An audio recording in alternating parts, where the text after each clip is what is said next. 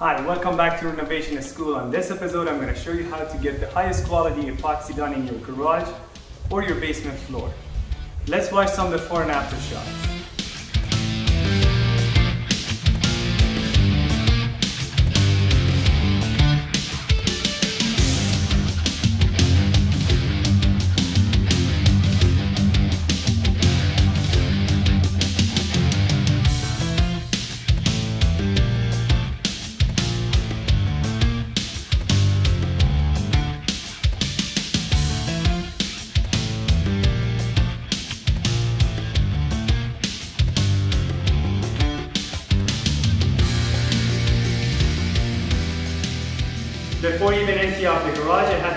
What kind of a surface I'm going to be working on. In my case, it's just bare concrete. There's no other uh, sealer, paint, or uh, old epoxy sitting on top of it. How did I figure out that there's no sealer on top of my uh, concrete? I simply just poured some water on it and I noticed the concrete was absorbing all the water from the surface. So it can tell me it was changing its color. It, it, the concrete was basically getting wet. If you have sealer on top and you spray water on it, it doesn't absorb it in. The water just slides right off or sits on top of the surface. It doesn't get soaked into the actual concrete.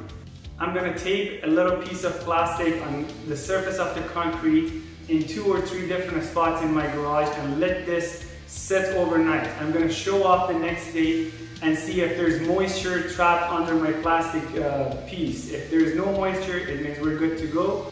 Before we get too excited and move on to the epoxy, we have to get the surface ready. Just like any other painting projects, doing such a job, doing epoxy is also 90% prep and 10% the actual work.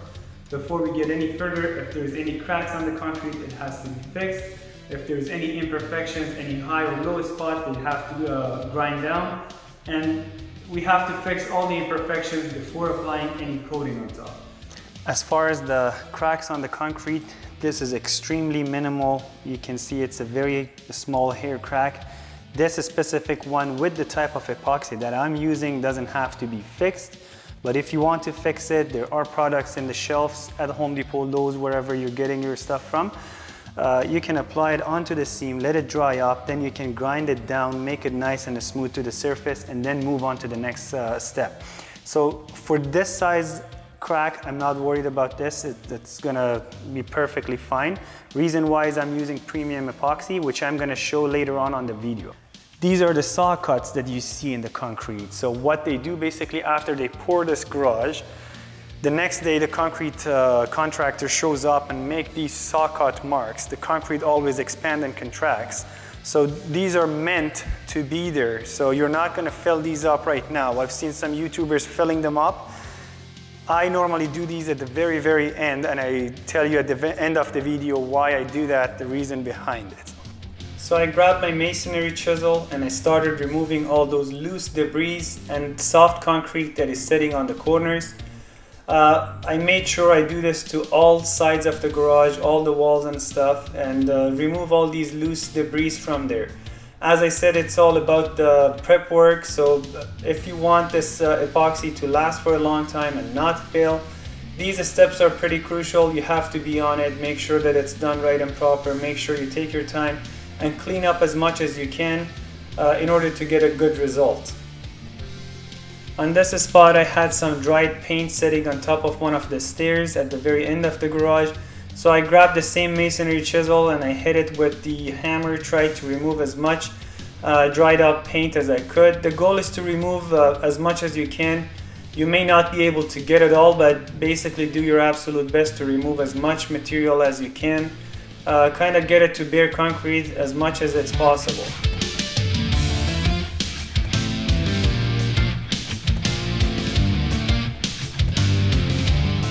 After removing the loose parts, I got my leaf blower and cleaned up the entire garage and then I pressure washed the entire surface.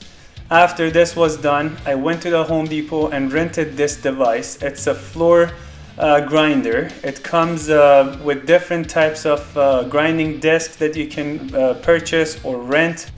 So this is how the grinding disc look like for that machine. The top ones are in case you have paint, epoxy or sealer on top of your concrete. The bottom one is designed for bare concrete. If there's no coating on it.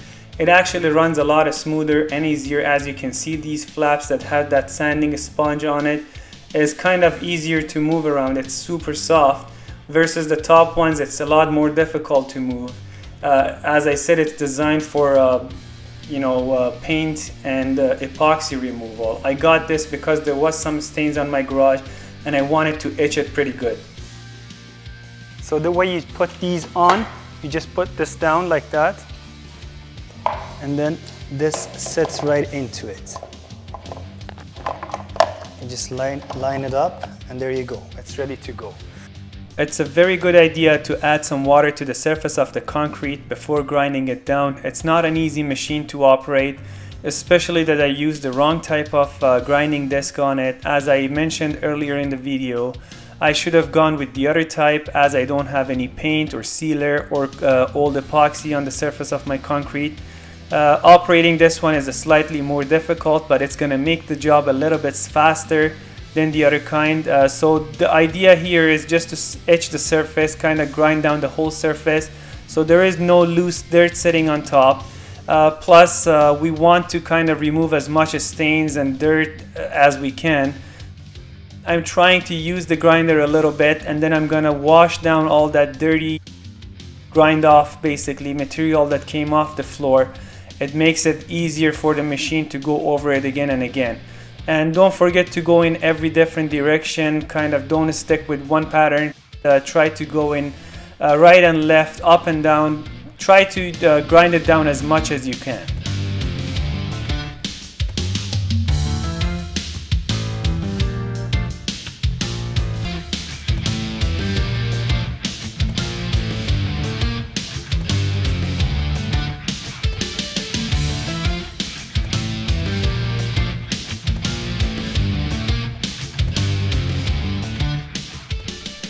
This is another area in the garage where I had this stain and as you can see this machine is doing a very good job removing it. Uh, there's also another process that you can acid etch the surface before applying your epoxy. I am going to cover that in a separate video on a different garage for you guys. On this one, my focus is just to mechanically remove as much stains as I can. With the acid etching, not all the stains will come off, especially stuff like this. It will etch the surface of the concrete, but it's not going to be a superior method to this. This is the best way to remove and etch the surface of the concrete. And as I said, uh, because I want to go premium on this video, I am going to show you the best method of doing it. So after the grinding was done, I got some dish soap and some simple green heavy duty cleaner. I put a little bit of uh, both of these uh, liquids in a bucket and I uh, filled it up with water. Then I poured it on the concrete and I started washing. With uh, using that brush that I rented from Home Depot, it's a soft brush. It's almost like a broom. It does a very good job cleaning up this whole surface. The idea basically is to remove any remaining concrete that might be sitting here after the grinding job is done. So I am going to go throughout the whole surface. I'm going to wash it again in two, three different directions. And then I'm gonna pressure wash the entire garage after this soap is gone. I want this to be nice and super clean before I actually apply my epoxy on it.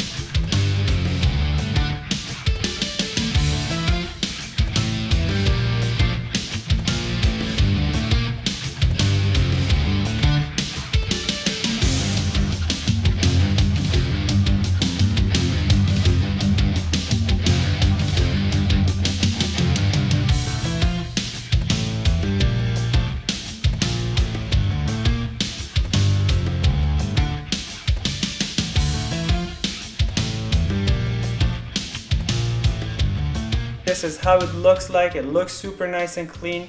I'm gonna let it dry up for two full days before I actually move to the epoxy process. Okay, so this is the most important part of this video. If you've done this much prep to your surfaces and concrete, this is time to talk about the actual epoxy.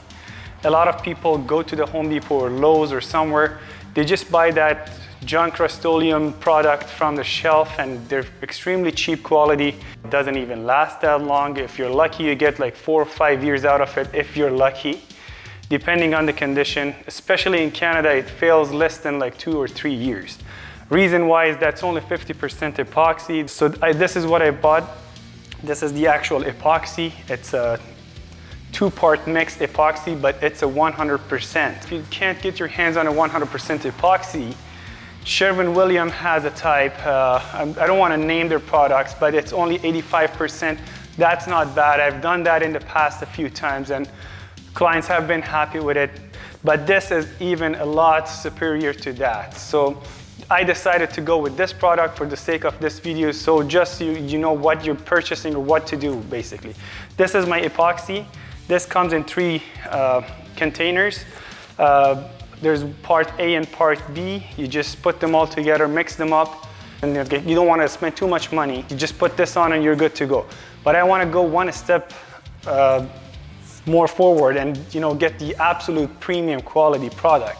So I went ahead and I purchased some flakes. These are all by Lab Surface company.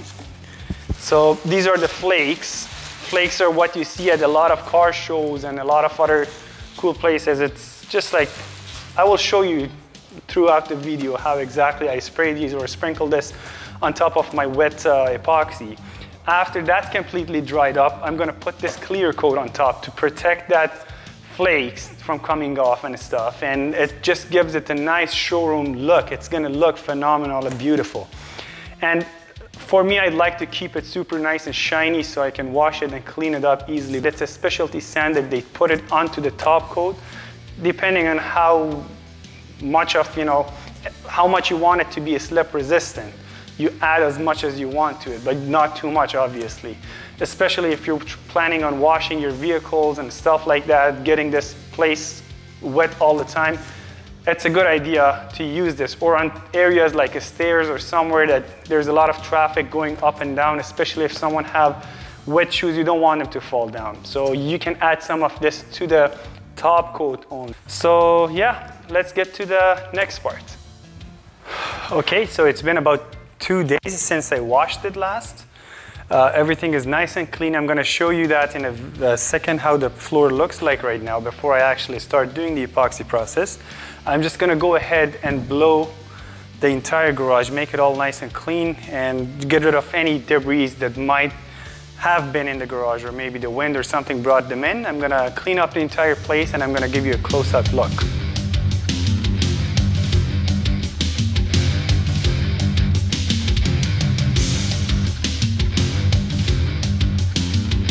Some of those stained, stained areas are not uh, gone, but it, for the most part, they're clean as hell. You can see how the surface is all scratched up and you know, it's kind of ready to accept that epoxy now.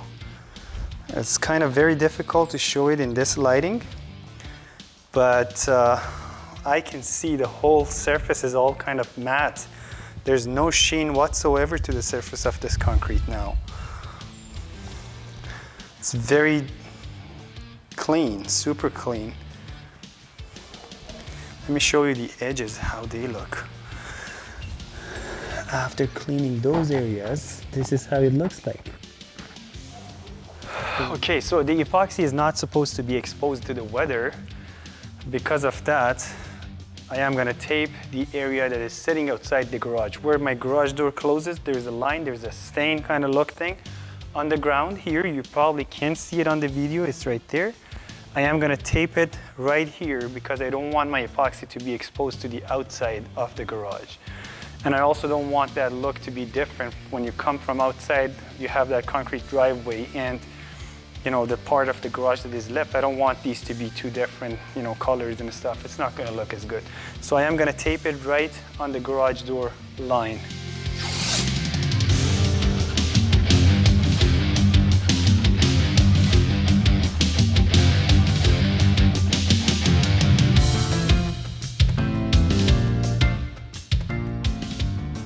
It's finally time to mix my epoxy. I have three containers in my box. The first two are my base color. As you can see, I went with gray. I am gonna pour them inside this bigger container. After mixing this for a little bit, I'm gonna add the hardener to it. Uh, when you're mixing it, make sure you go slow. Don't put too much speed on your drill or it's gonna introduce too much bubble to it, air bubbles basically, and it's gonna look horrible when it's done. Uh, after adding the hardener as well, make sure you go pretty slow with it. Don't go fast with the mixing it. I am gonna take my time and mix it for a good two or three uh, minutes before applying it. Again, all the epoxy uh, products are different. This one that I'm using here is 100% solid epoxy. Uh, this one doesn't require any sweat time, but some other uh, manufacturers require a sweat time. Basically, after you mix it up, you have to let it sit for 10, 15, 20 minutes, depending on what manufacturer it is and what the temperatures are. Uh, then you're gonna start applying it. Uh, for me, it didn't require any wait time, so I could go uh, jump into starting and applying it on. Uh, I'm using my brush. I'm gonna apply this on onto the corners. After those corners are done, I'm gonna pour some of the epoxy on the ground and start rolling it down. Uh, it's a very good idea to use a notch squeegee. The notch the squeegees are very good. They make the life so much easier. You can spread it so much faster. But because I'm doing this in the middle of the Corona crisis uh, and a lockdown, everywhere is closed and it takes another two weeks until I get one. So I decided to just roll this down. And I am using a half inch uh, nap roller for this job. Uh, this roller is designed to work with solvent based material. So basically it's not gonna swell up in the middle of the job on me. What I'm doing basically, I push this epoxy down to the surface of the concrete. Uh, once I know that I got the coverage, then I back roll it nice and smooth like that, uh, making sure the whole surface is all uh, smooth and even. And uh, it's extremely important to make sure you get a nice and uniform uh, coating. This stuff kind of dries up extremely fast especially that I'm applying it in such a heat uh, time. Uh, it's about 35 degrees in Windsor, Ontario when I'm applying this. It's very difficult to work with this kind of material in heat. It kind of cures a lot faster than what the package says. Uh, so you got to be on top of it. As I said, I've done this many times and I know my timing. I've been uh, good at it. If it's your very first time and you're applying it in the heat time, make sure uh, you just do this at a, you know, late in the afternoon or early in the morning time when the temperature is not that uh, hot. I decided to put these spiky shoes on. It makes uh, the life easier. Now you can walk on top of the wet uh, epoxy and apply your flakes. It's a good idea to bring the garage doors down. I only leave a little bit at the very bottom. I just can't take the chances of uh, the wind blowing any kind of unwanted material on top of my wet epoxy. For that reason, I kept the garage door that low. If you're not using those spiky shoes, make sure you plan your escape. Make sure you start from the back side of the garage so when you get to the front, you can escape from the garage when it's completely done. You don't want to walk on the wet epoxy at the very end. So I applied it the same exact way on half of the garage and then I'm gonna start by uh, uh, applying my uh, flakes to the whole surface. So this is how I broadcast my uh, flakes. I throw it on the air. I'm kind of aiming to the garage uh, ceilings. When it comes down, it kind of lays down very nice and even. Uh, the box is pretty heavy. I decided to put it on one side. And on those areas that I didn't have a good coverage, I'm just manually going closer to those areas and applying a little bit more. Uh, just don't forget you want to throw it right on the air. The higher you throw it, the better it's going to be. Uh, the more even it's going to land on the ground. I'm planning on installing some kind of uh, skirt board on the bottom of the drywall so for that reason I'm not applying too much flakes on the bottom portion. These flakes come in very different colors and they must be applied when the surface is wet if you are on a budget, you can just get away with the actual epoxy without any flakes or top coat. It's gonna be a very nice and durable coating. Uh, but I just wanted to get a better look. I wanted this to look amazing. So that my epoxy is sitting kind of, it's curing pretty fast. As I said, it's extremely hot outside and my camera is dying so I couldn't film the whole process unfortunately. The next day I got my leaf blower and blow all those uh, loose flakes Right after that, I got my flooring scraper. You can get these from Home Depot and Lowe's. Uh, I make sure I get all those corners, all the edges, and I also make sure I go in both directions, right and left, up and down. Make sure you, you get every inch of the garage.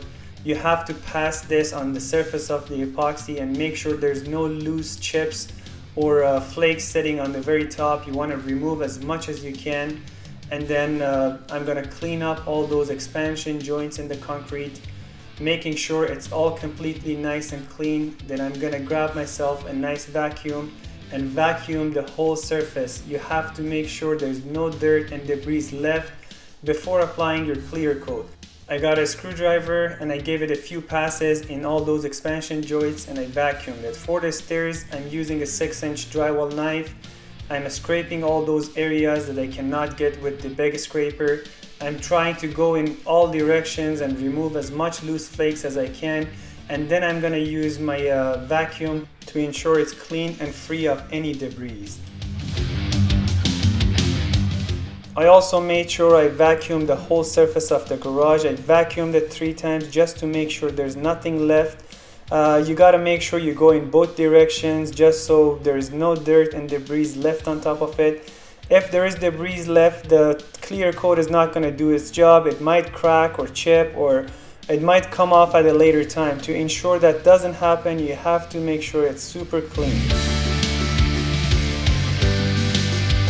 I ended up cleaning this garage three times in every direction just to be on the safe side and make sure there's no loose debris left on it.